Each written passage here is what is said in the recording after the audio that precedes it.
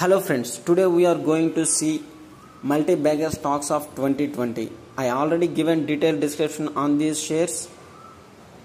They are network 18 broadband service companies like uh, Hathway, Den Networks, GPTL, Hathway and News Channel TV 18 under Network 18.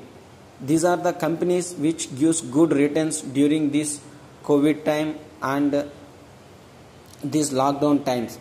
Why? Because all software employees working in metro cities having only one connections in their companies but now they are working from work from home and they taken new connections to work there is a demand for internet service so every employee taken one new connection look every employee taken new connection means how much money these broadband services are getting.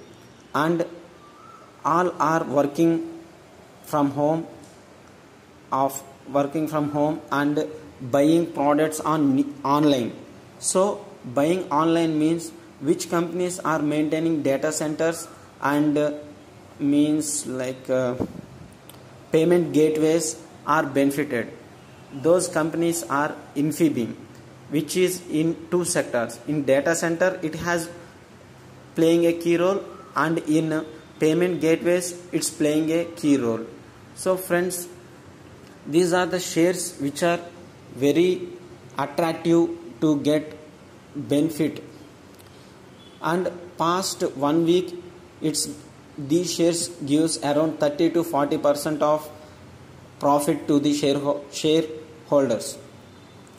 And we can look this as opportunity up to short to medium term. Why? Because airtel also providing broadband services vodafone providing broadband services and reliance itself providing Jio fiber broadband services.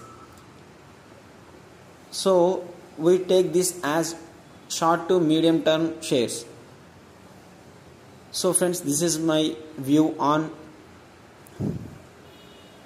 these multi-bagger stocks of 2020 please friends support my channel share my channel subscribe my channel